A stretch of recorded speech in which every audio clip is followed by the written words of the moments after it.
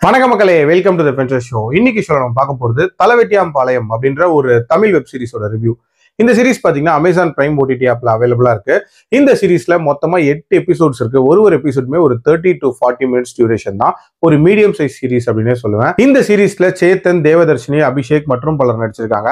ஹிந்தியில வந்த panchayat web series இருக்குல்ல அதோட அபிஷியல் தமிழ் வெர்ஷன் தான் இந்த சீரிஸ் ஆக்சுவலி இந்த சீரிஸ்ல ஒரு சிட்டியில படிச்ச பட்டதாரி இளைஞன் ஒரு குக்கிராமத்துக்கு போஸ்டிங்க்கு போறாரு. போன இடத்துல அவனுக்கு என்னென்ன மாதிரியான சம்பவங்கள் நடக்குது அப்படின்ற மாதிரி தான் இந்த கதை போகும். அந்த ஊரோட பேர் தான் தலைவெட்டியாம்பாளையம். இந்த ஊருக்கு தான் அபிஷேக் வந்து பஞ்சாயத்து செக்ரட்டரியா போஸ்டிங்க்கு போவாரு.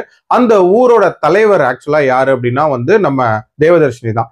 ஆனா ஆக்சுவல் வேலைகள் எல்லாத்தையுமே வந்து சேத்தன் தான் பண்ணிட்டு இருப்பாரு. ஒரு சிட்டியில இருந்து அந்த ஊருக்கு போகக்கூடிய அபிஷேக்கு என்னென்ன மாதிரியான இனிஷியல் சேலஞ்சஸ் இருந்துச்சு அதுக்கப்புறம் எப்படி அதுக்கு அடாப்ட் ஆறாரு அண்ட் அந்த ஊரோட சடங்குகள் என்ன சாங்கியங்கள் என்ன அதனால இவரோட வேலையிலையும் லைஃப்லையும் என்ன மாதிரியான பிரச்சனைகள் வருது? அண்ட் அந்த ஊருக்கு இவர் அடாப்ட் ஆறாரா? இல்ல அந்த ஊரை மாத்துறாரா? அப்படின்ற மாதிரி நிறைய விஷயங்களை சொல்லக்கூடிய ஒரு சீரிஸ் தான் இந்த சீரீஸ் ஆக்சுவலி அந்த இந்தியில வந்த பஞ்சாயத்து சீரிஸை பத்தி நான் கேள்விப்பட்டிருக்கிறேனே தவிர இது வரைக்கும் பார்த்ததில்ல. அதனால இந்த ஒரு பர்டிகுலர் ரிவ்யூல நான் வந்து தமிழ் வேர்ஷன் எப்படி இருக்கு அப்படின்றத மட்டும் தான் சொல்ல போறேன். இந்த தமிழ் வேர்ஷனை பொறுத்த வரைக்கும் பாத்தீங்கன்னா சிட்டியில இருந்து கிராமத்துக்கு வரக்கூடிய ஒரு இளைஞனுக்கு ஆரம்பத்துல இருக்கக்கூடிய சேலஞ்சஸ் அப்படின்ற மாதிரி சில விஷயங்கள் காட்டுவாங்க. டு அன் எக்ஸ்டென்ட் ஒரு சில விஷயங்கள் இல்லை அப்படின்ற மாதிரி தான் இருந்துச்சு. பட் பேசிக் ஃபெசிலிட்டிஸ் எல்லாமே இருக்கே அப்படின்ற மாதிரியான ஒரு ஃபீல்ட்ல தான் இந்த சீரிஸ் தொடங்கிச்சு அப்படின்னே சொல்லலாம். ஸோ அது எனக்கு ஒரு பெரிய சேலஞ்சா படல. பட் அதுக்கப்புறம் நடக்கக்கூடிய சில விஷயங்கள் இவரோட ஒர்க்குக்கு என்ன மாதிரியான ஹர்டில்ஸா வருது அப்படின்ற மாதிரி இருக்கும்ல. அதுல ஒரு சில விஷயங்கள் நல்லாவே காட்டியிருந்தாங்க.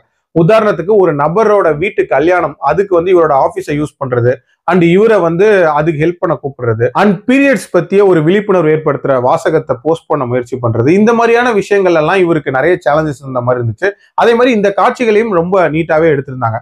ஆல்சோ அந்த டுவர்ட்ஸ் தி எண்ட் வரக்கூடிய அந்த தேசிய கீதம் ரிலேட்டடான காட்சிகள் அதுவுமே நீட்டா இருந்துச்சு அப்படின்னே சொல்லுவேன். பட் எது ஒர்க் அவுட் ஆகலை அப்படின்னா வந்து இந்த ஈவெண்ட் ஃபுல்லாக பண்ணக்கூடிய விஷயங்கள் எல்லாம் அந்த அளவுக்கு ப்ராப்பராக பண்ணல அப்படின்னே சொல்லலாம். உதாரணத்துக்கு அந்த ஆட்டோ டிரைவர்ஸோட வரக்கூடிய ஃபைட்டாக இருக்கட்டும் அதே மாதிரி அந்த மானிட்டர் திருடு போகக்கூடிய அந்த காட்சியா இருக்கட்டும் இதெல்லாமே வந்து அந்த அளவுக்கு இம்பாக்ட்ஃபுல்லா இல்லை அப்படின்னே சொல்லலாம். ஆக்டர்ஸோட பெர்ஃபார்மன்ஸை பொறுத்த வரைக்கும் தேவதர்ஷினி அண்ட் சேத்தன் ரெண்டு பேருமே பட்டையை கிளப்பியிருக்காங்க அப்படின்னே சொல்லலாம்.